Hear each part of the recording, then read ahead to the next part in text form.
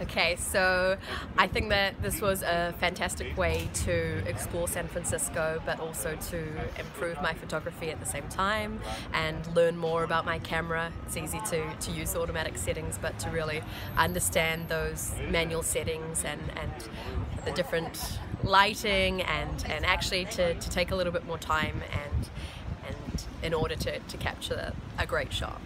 Yeah.